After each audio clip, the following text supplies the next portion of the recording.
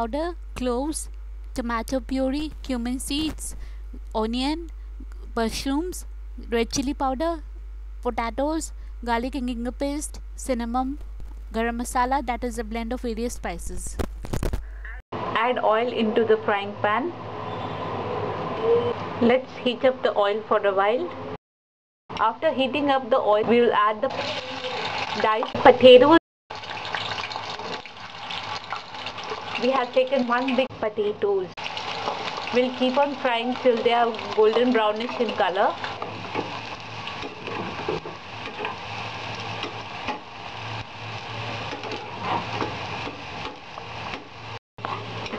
The potatoes have become light golden brownish in color.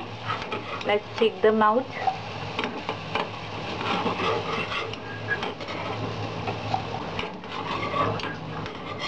In the left out oil, we'll add half a teaspoon of cumin seeds.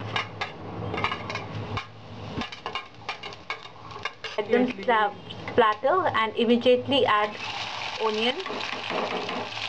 These are two medium-sized onions finely chopped. The onions have started to turn transparent. Add half a teaspoon of garlic paste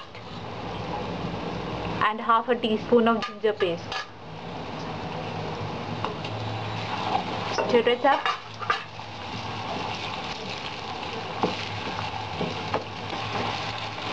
We will keep on frying this for another couple of minutes on a medium flame. And now add button mushrooms. Wash them thoroughly with hot water. We will keep on frying this on a medium flame for about 2 to 3 minutes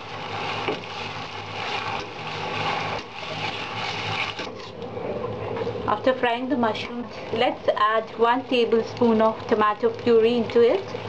Keep the burner flame on a low.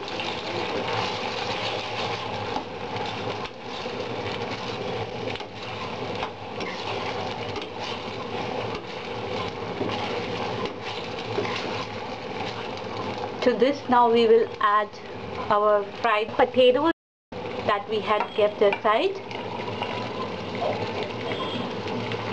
if I forgot to tell you the quantity of mushrooms it is about 250 grams.